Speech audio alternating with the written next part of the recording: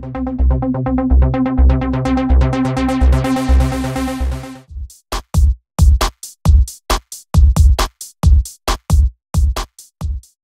bili kayo ng gatas ng kalabatik 10 piso lang. Ang mahal naman, walang piso. Meron, pero ikaw hindi didi sa kalabaw.